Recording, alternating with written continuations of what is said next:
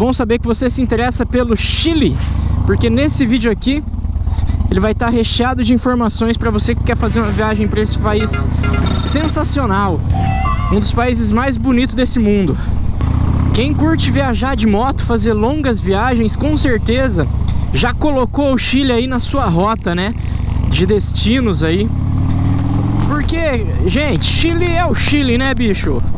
O Chile é um país muito lindo, muito bonito. E para quem curte viajar de moto, cara, é um prato cheio. É uma viagem inesquecível aí para ficar por toda a vida.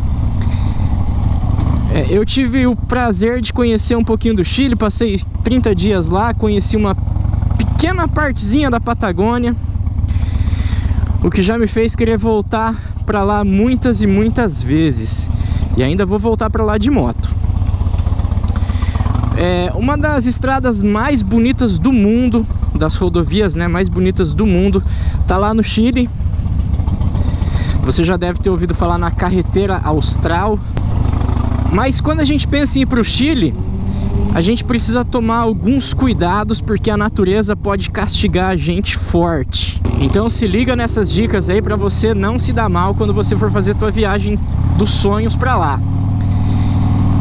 Bom, vamos lá. Qual que é a época boa para você poder viajar para o Chile? Óbvio que se você vai de moto vai de carro, você tem que evitar o inverno. Senão você não vai passar nem nas cordilheiras ali, nem na entrada do Chile ali você passa.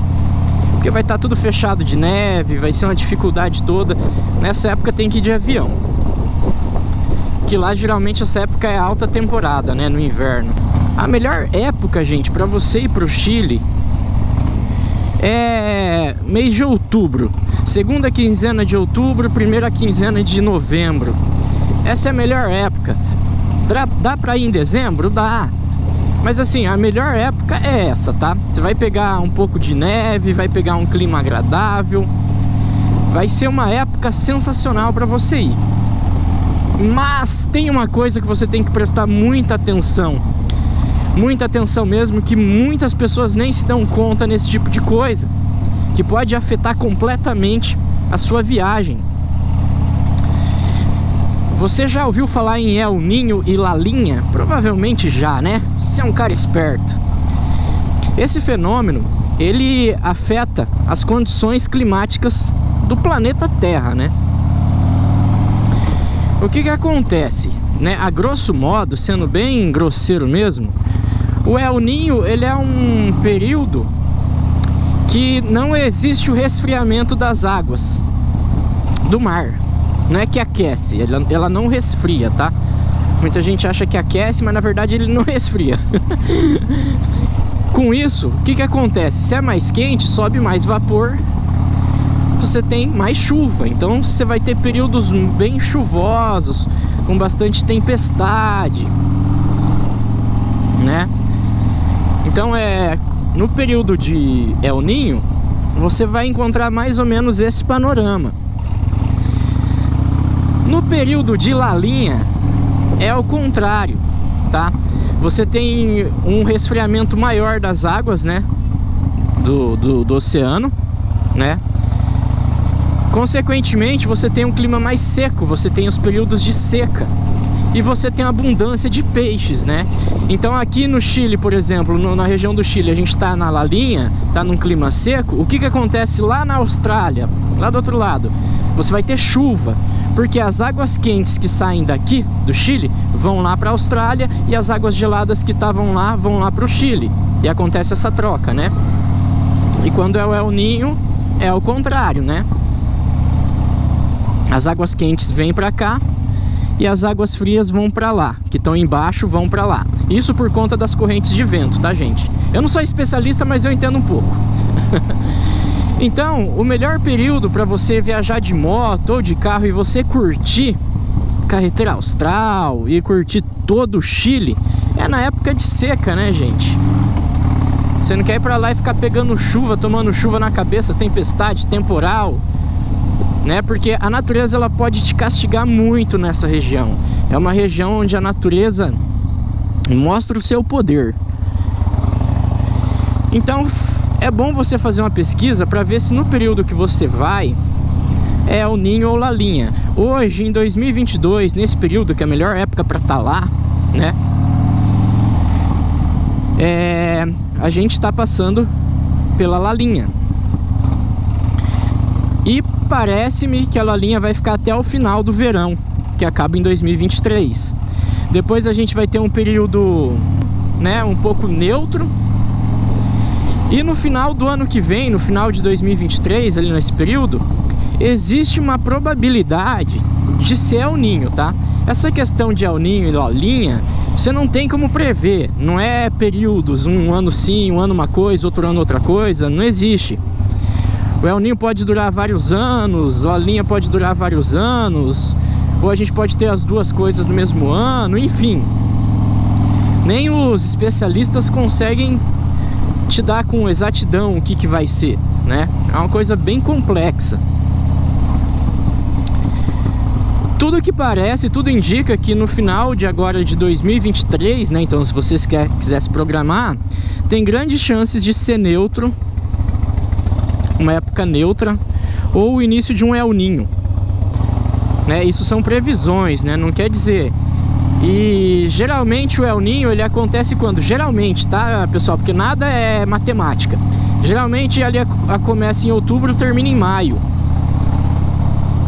Então ele pega a época boa para você ir para o Chile. E isso, esse detalhe muda completamente a tua viagem, né? É óbvio que se for na época de El Ninho, você pode ir para outros lugares, ali de repente na Argentina, para outras regiões ali e ter uma viagem bacana também. Tá? A gente está falando do Chile ali, região do Chile, região patagônica, né? E assim, com que moto que é bacana você ir para lá? Eu fui para lá de carro, então eu pude observar bem muitas regiões ali, né? E assim, tem muitos trechos, galera, que é rípio pesado, outros trechos tem a estrada boa, tem trechos que dependendo de por onde você for passar, você vai ter que colocar a tua moto num barco, numa balsa, pequena balsa, né, e atravessar. Então assim, aí vem aquela conversa besta, né, que chega a me dar raiva. Vai qualquer moto, vai para qualquer lugar. É, vai, qualquer moto vai, você pode ir com qualquer moto, mas qual que é a melhor opção? A melhor opção, ao meu ver, é uma moto crossover de média cilindrada. Aí vamos botar aí CB500X, NC750, são duas opções boas. Ou então uma moto tipo XRE300, Lander 250. Esse tipo de moto, para você fazer a carretera austral, fazer aquela região ali, que é uma região que você vai encontrar diferentes tipos de terreno e você tem que estar preparado para qualquer tipo de situação. E gente, se você vai para o Chile, vai curtir carretera austral, cara, e não vai se enfiar nos buracos lá para conhecer, é, para subir nos vulcões, para ir para os lagos de gelo, cara, nem vale a pena você ir, né? Agora você pega uma Harley dessa e vai fazer a carretera austral, beleza, você vai, mas você vai desmontar a tua moto no meio do caminho, você vai ter uma série de problemas por causa da trepidação. Se você for com uma Big Trail, em vários momentos você vai passar apurado ali, pela tua moto ser muito pesada, muito grande. Então assim, você tem que pensar em tudo isso. Agora, você vai conhecer o Chile, mas não vai fazer carretera austral, não vai se enfiar nas quebradas, vai ficar só em rodovia pavimentada, beleza, é outro tipo de viagem que também dá certo, né? Mas assim, a meu ver, a melhor opção é você pegar uma crossover para você ficar livre e se deslocar para onde você quiser bem, né? Para você estar tá bem munido ali de moto para poder fazer uma viagem inesquecível. Então aí estão aí algumas dicas aí para vocês aí que querem muito fazer essa viagem ao Chile, assim como eu vou fazer essa viagem para o Chile, sem sombra de dúvidas. É, já estou estudando agora, se Deus quiser, 2023 estamos lá. Então fica aí algumas dicas para você que quer também conhecer esse país fantástico, sensacional.